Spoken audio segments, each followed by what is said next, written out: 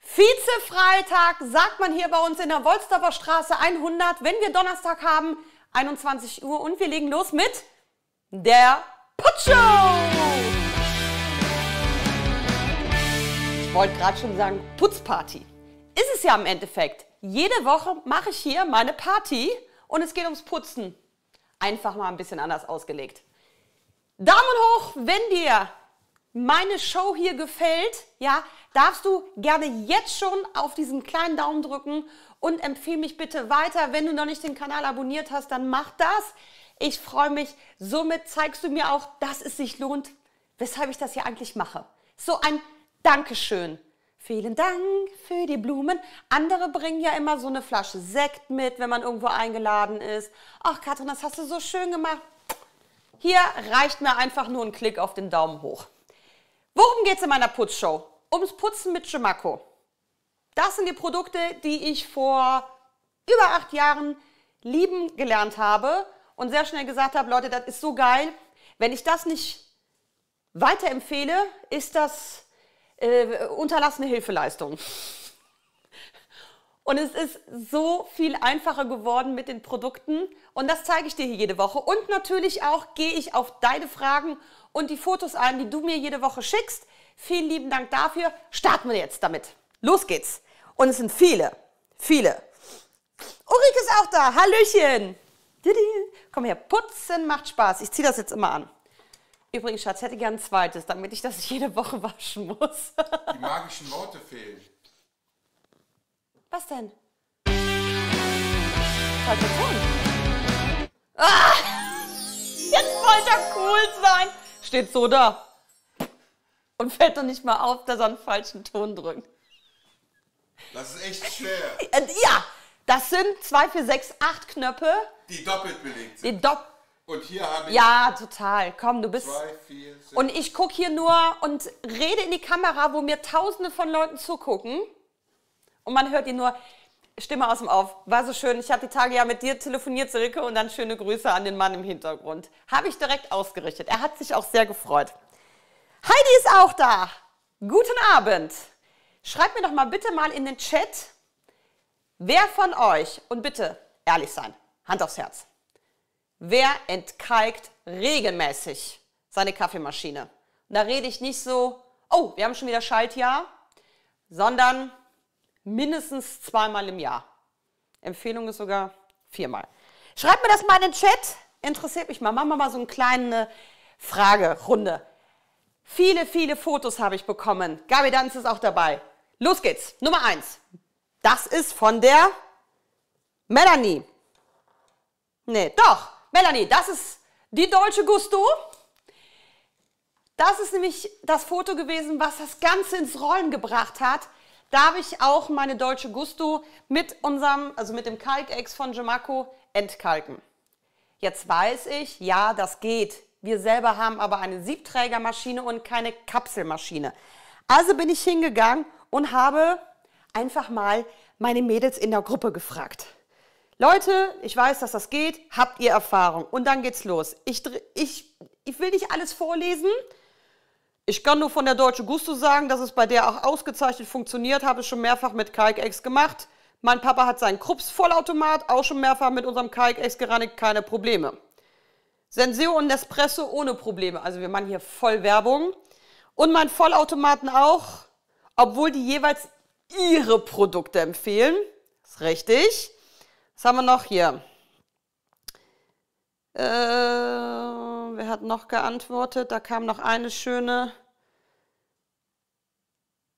Also, Wassermenge für die Jura. Nächstes. Das, wir haben alle hier dabei. Ähm, das war, ging auch gut. Nächstes schreibt, äh, da nimmt sie 50 Milliliter. Ah, hier, bei einer Jura lässt meine Schwiegermutter einen vollen Tank mit Kalkex-Lösung regelmäßig einmal durchlaufen, zieht quasi Espressi ohne Kaffee und alle anderen Programme, bis der Tank leer ist. Damit's Wasser nachfüllen zweimal. Ihre Jura ist 25 Jahre alt. Seit sie das macht, gibt es besseres Crema.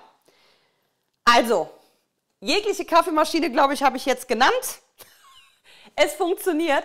Und daraufhin habe ich gedacht, okay, dann müssen wir einfach mal ein Video zu machen. Scheint ja Thema zu sein, das zu entkalken. Die ersten haben schon geschrieben, oder? Wer entkalkt wie? Dirk, du musst ein bisschen hinterher sein. Tassimos. Mm. Die hatten wir noch nicht erwähnt. Die hatten wir auch noch nicht. Vierteljährlich, auch eine Jura. Mm. Ja, ich habe mir schon gedacht, außerdem, wer hat sich vielleicht jetzt zum Black Friday alle einen neuen Kaffeevollautomaten gewünscht oder, oder geleistet oder so eine PET-Maschine? Nächstes Foto. Kommt von, direkt von der Kollegin, funktioniert super. Das ist die von Shibo. Ja, ganz außen im Bild steht die Maschine, aber die hat die komplett auseinandergenommen. Dankeschön dafür. Also, Video dazu gibt es gleich. Und bitte bleibt dran. Ich habe einen Wahnsinnspreisvergleich zum Ende hin. Ein, ein Preisvergleich zwischen unserem Kalkex Plus und einem empfohlenen Entkalker extra für Kaffee-Pet-Maschinen oder überhaupt Kaffeemaschinen. Auf jeden Fall dranbleiben, gibt es nach dem Video. Bleiben wir noch bei den Fotos, denn die sind ja hier wichtig, ihr schickt sie mir. Das kam jetzt von der Yvonne, ne? Genau, das Foto ist von der Yvonne mit der Bitte, Katrin, Clean Stick Plus, also 65 cm Staubschwert, passt da nicht rein. Ja, also ihr seht schon, das ist eine sehr alte Heiz, ein alter Heizkörper, sehr schmal. Yvonne, falls du das siehst, ich konnte in unserem Team noch einen 60 cm Clean Stick in Gelb, Blau und Grün auftreiben. Die passen da auf jeden Fall rein. Es ist aber auch eng. Und mit dem Clean Stick Mini, pff, der geht halt nicht bis unten hindurch. Ne? Also Clean Stick auf jeden Fall, aber 35 cm, der ist halt auf der Hälfte Schluss. Da müsste man von unten noch, wir wollen es ja so einfach wie möglich machen. Nächstes Foto. Äh, Silkes Mann hat eine Senseo. Ah, jetzt haben wir es. Die hatten wir früher auch, ne? Die Senseo. Ja. ja. Die konnte ich auch bedienen. Heute nicht mehr. Ja, was? Oh, das ist ja lecker. Hier ist das Problem im Raum. Ich kriege den Teppich oben nicht abgesaugt. Hast du was? Tada! Unsere Silikonbürste. Und das Foto kam mit den Worten, ich hätte am liebsten eine rechte Schere geholt und die Haare abgeschnitten. Weil sie hat sich schon beschwert, dass da viele Haare drin sind. Aber ich unterstelle einfach mal, dass so viele waren. Sieht man erst, wenn man sie mit der Silikonbürste rausgeholt hat. Toller Einsatzort. Passendes Foto kommt als nächstes von der Gabi, von dir, liebe Gabi. Ja, Gabi hat nämlich ihren gelben Staubhandschuh damit sauber gemacht. Geht auch. Ich mache es immer sehr gerne bei der gelben Bodenfaser, bevor ich die ausschlage. Da bekommt ihr halt schon viel runter. Warum direkt in die Waschmaschine schmeißen? Ich meine, wir reden hier von Staub. Den kriegt man auch weggepustet, ja? Dann ist er nur woanders. Ach, wenn dir deine, meine Witze gefallen, ne? Daumen oben da lassen. Ne? Ich bin halt gut drauf. Bin halt super drauf, Leute. Super drauf fangen sicher gleich noch an zu singen. Gut, noch eins. Ja. Oh ja, das ist von der Julia. Das ist erklärungsbedürftig. Meine Kolleginnen machen hier und da noch WhatsApp-Chat-Partys. Und nach der Party bekommt meine Kollegin diesen Chatverlauf, sagte Katrin, ich muss ihr das zeigen, so lustig. Kundin schreibt, für mich Lachs.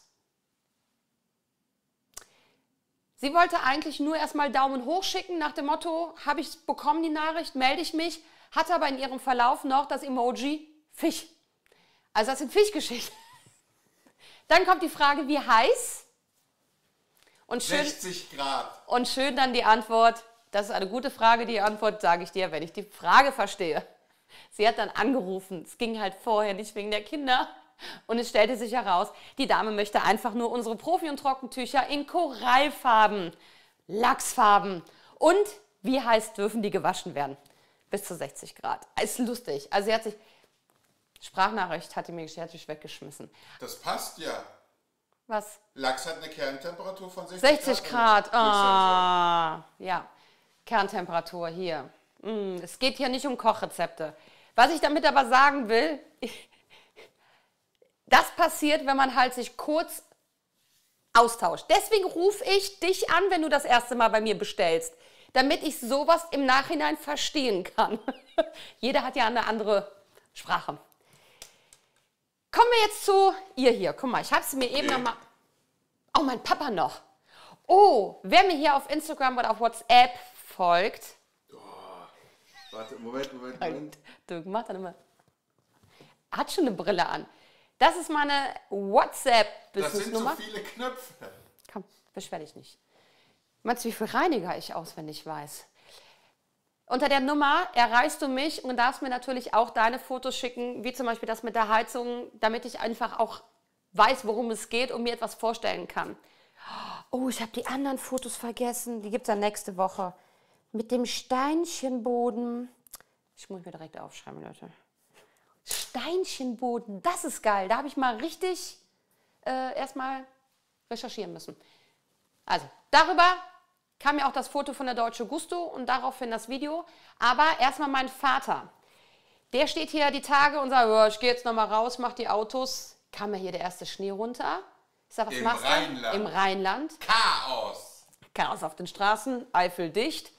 Ich sag, was willst du machen? Die Gummidichtung vom Auto. Ja, dazu gibt es sogar ein Video von Gemaco, also von mir, von Katrin Beck TV, weil das bei unserem alten Auto auch ein Problem war.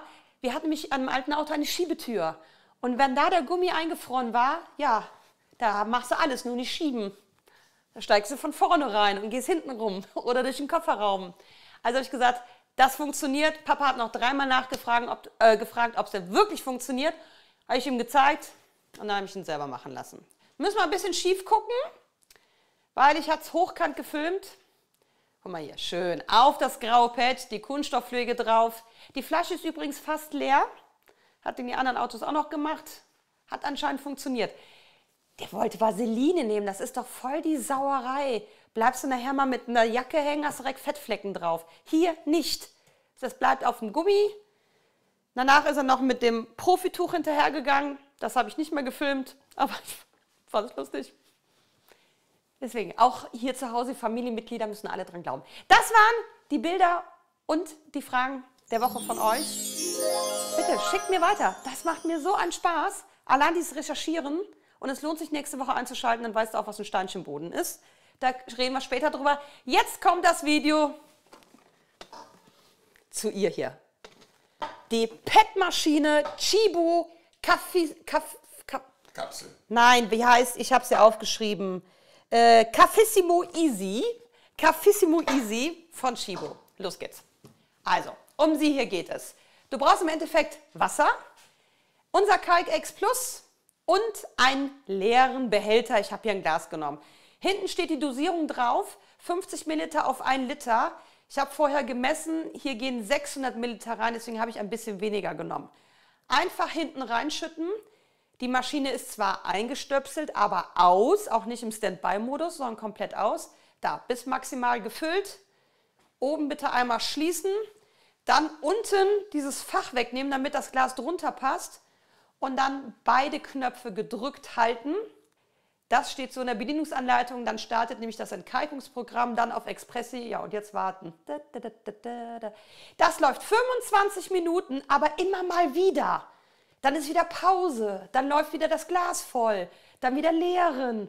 Ungefähr 25 Minuten. Dann kommt irgendwann ein Piepsgeräusch. Dann habe ich alles rausgenommen. Das habe ich dann im Spülbecken gereinigt. Habe klares Wasser hinten nochmal reingeschüttet.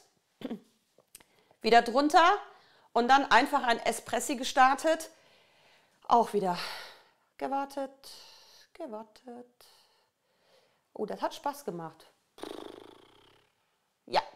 Viel gewartet. Yeah. Ups, und da war es dann auch schon fertig. Also ich glaube, das war, das läuft dann auch komplett durch. Natürlich bin ich mit dem Lappen nochmal drüber gegangen. Ne? Alles schön gespült, abgetrocknet. Tada! Das war's. Mehr ist es nicht. Ja, es dauert 25 Minuten.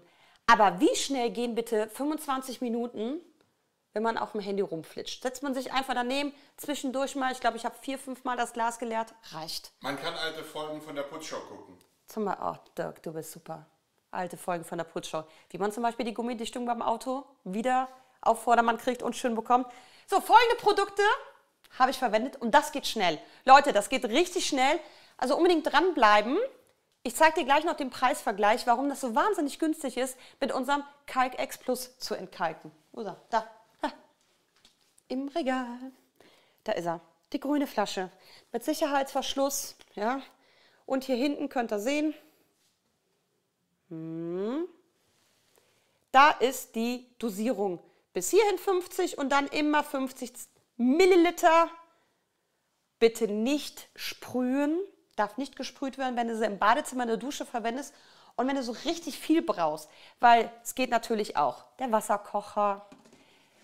Wo haben wir noch entkalkt? Wir haben mal unseren Topf entkalkt. Armaturen. Die Armaturen, Duschkopf, Duschkopf. Ach, hier übrigens bei uns im Gästeklon, ne?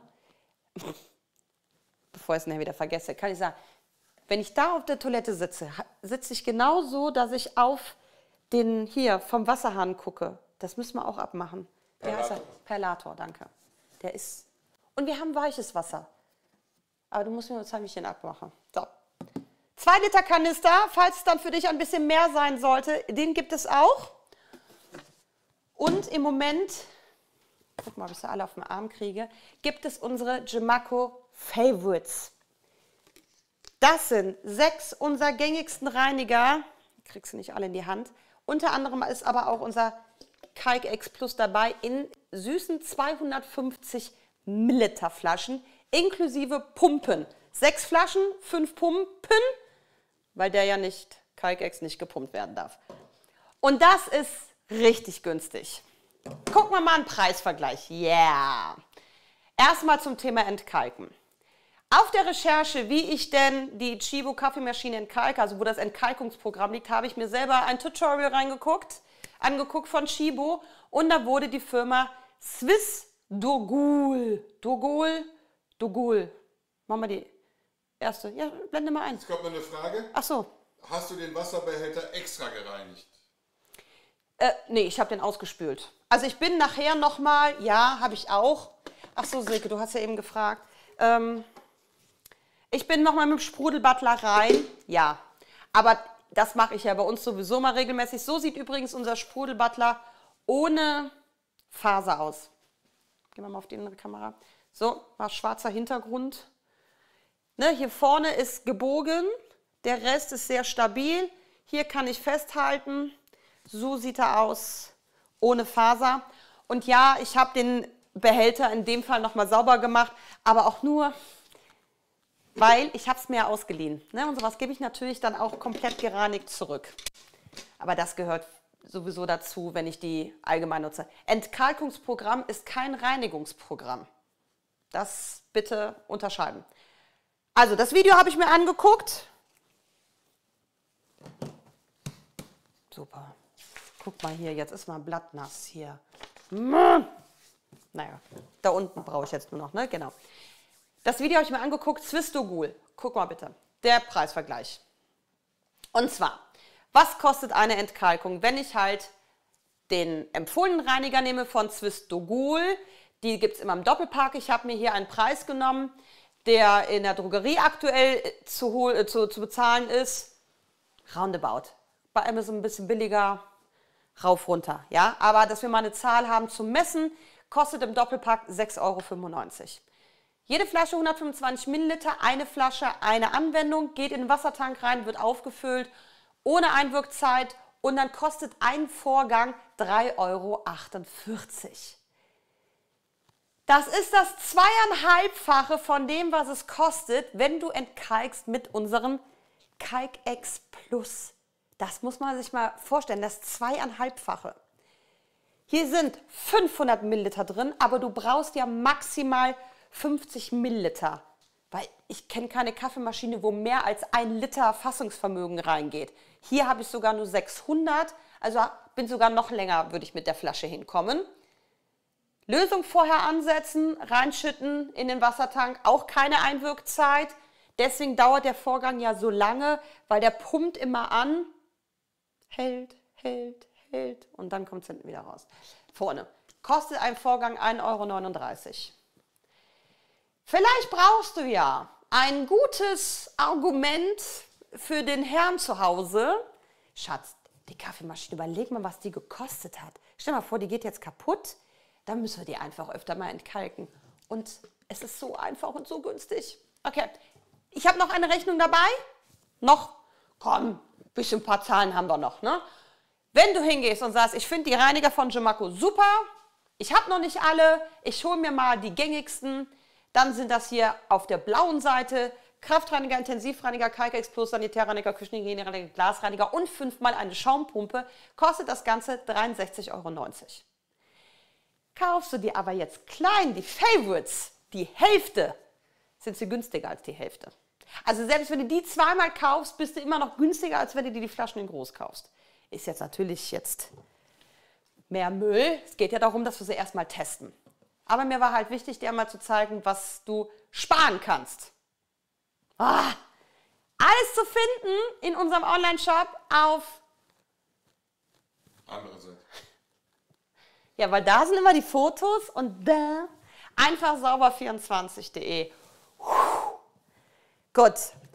Ich habe anfänglich noch zwei Fragen. Guck mal in den Chat. Ich habe ich hab mir was Es sind, aufgeschrieben. noch, es sind noch Fragen da. Ja, ich habe auch noch zwei. So. Wie bekomme ich Kalkflecken um den Wasserhahn im Bad weg? Auch mit Kalkex? Ja. Wichtig, den Kalkex bitte nicht pur benutzen, immer verdünnt. Und beim Kalkex, stell dir das jetzt mal hier in grün vor oder in blau. Habe ich in der Wäsche, ne? Ja. Ähm, machst du den, den Clean Stick, ähm, die Faser nass, tunkst es ein mit ein bisschen Kalkex und dann legst du das rum. Und da gibt es sogar einen coolen Trick. Ich gucke doch mal, ob ich die grüne habe. Warte, bin sofort wieder da. Vielleicht habe ich noch einen hier. Nee, das ist der gelbe. Ach, das ist ja auch. Gelb ist ja auch nicht so, ne? Nee, ich muss mit der weißen. Ich habe die in der Wäsche. Hm, nee. Also, ach, da bin ich. Genau. Und zwar, kleiner Trick 17. Wenn du das um den Hahn legst, kannst du das hier durch die Schlaufe ziehen. So, stell dir vor, das ist hier der, das ist der Hahn, ne? Und dann kann man das schön ranziehen.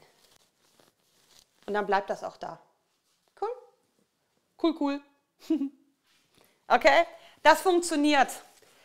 Ähm, ich tendiere aber dann natürlich ganz klar grüne Faser oder besser sogar noch blaue Faser. Funktioniert. Noch eine Frage? Ja. Achtung. Kann man mit dem Putzmittel auch Sensity-Lampen sauber machen? Sensity. Hast du mal ein Foto für mich an meine, kannst du mal die Nummer? Sensity. Lampe. Wie wird das Sensity? S-C-E-N-T. Moment, Moment, nochmal. S-C-E-N-T-S-Y. Sensi. Ach, die Sensi. Das sind Sensi-Duftlampen. Sensi. Süß, Schatz. Nee, weißt du nicht. Das ist der andere. Ähm, gute Frage. Ich meine, es kommt auf das Material an. Aber wie sollen Kalkflecken an die Sensi-Duftlampe kommen? Die laufen ja elektrisch, oder nicht? Oder ist das, eine, ist das äh, mit Wasserdampf? Da schreib mir mal mehr. Hast du die Nummer eingeblendet? Von wem kam die Frage denn? Äh, Von SU. SO. Warte, warte, warte. Siegburg.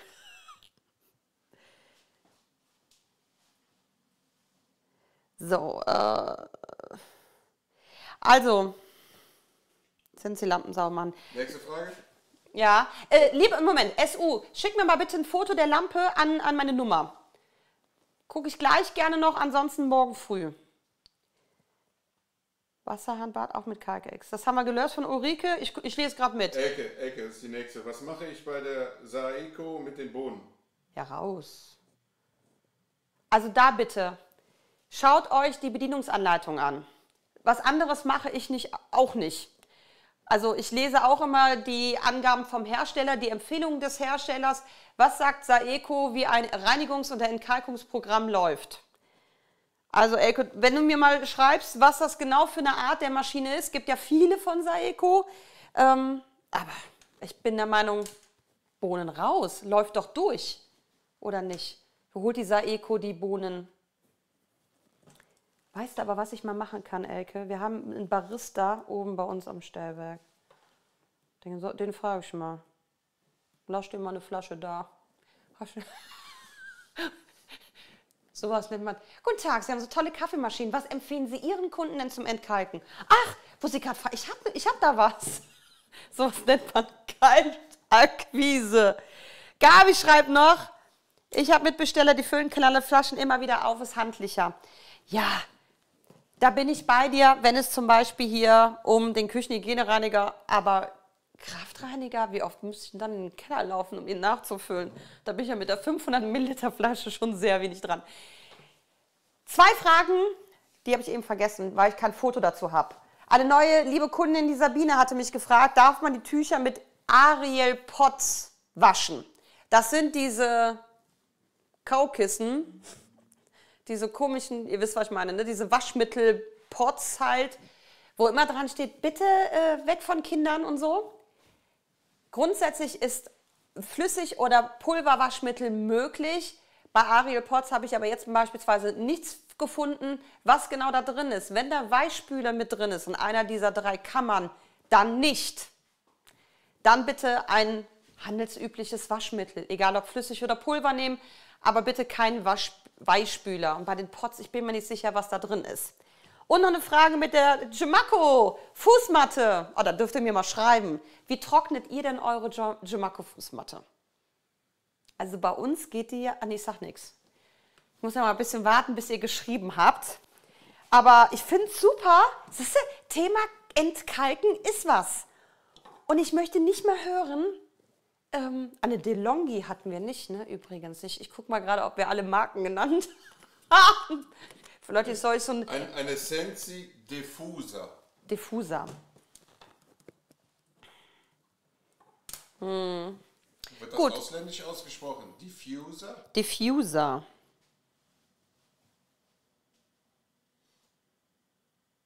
Okay, Elke, ja, schau dir mal an. Ja, das Ulrike, ist ein Vorgang. Ulrike hat eine DeLonghi. Jetzt sagen wir so, da habe ich bald alle durch. Es gibt wohl auch eine von WMF, von Krups noch. Wir hatten auch eine Gatja. Stimmt, hatten wir auch. Und das Witzige ist, wir sind gar nicht so die Kaffeetrinker. Und jetzt haben wir eine Solis. Solis. Ja, aber es ist ja eine Siebträgermaschine. Ja. Aber Kaffeevollautomaten gehen auch. Also es geht nicht nur um die Pets-Maschine, ne? So, Larik schreibt, die kommt auf den Wäscheständer und wird getrocknet, Gabi auch. Ja, Fußmatte über den Wäscheständer. Ja. Und das habe ich auch geschrieben. Äh, die Frage war, darf die Fußmatte auch in den Trockner? Ey, wozu? Erstens zahlen wir jetzt sowieso viel zu viel Strom. Da muss der Trockner nicht extra laufen. Und ja, die geht abends nochmal im Kurzprogramm in die Waschmaschine, dann übers Räckchen. Am nächsten, Abend ist, äh, am nächsten Tag ist die sauber, äh, trocken. Die ist ja, wenn du unsere Fußmatte von Gemaco wäschst, die ist nur noch so klamm, sagt man bei uns. Da tropft nichts oder ähnliches.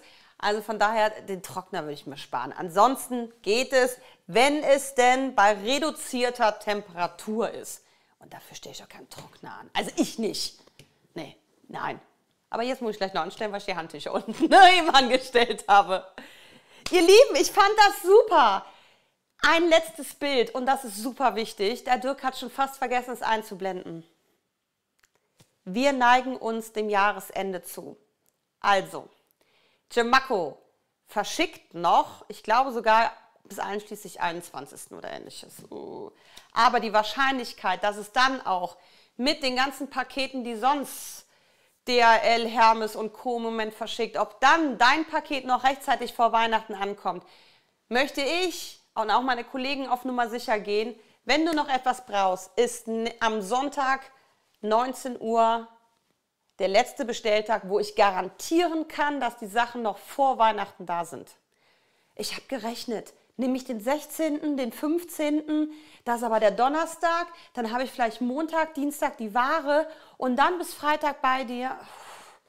Ist echt. Und ich warte jetzt noch auf Ware, die ich schon vor drei Tagen bestellt habe.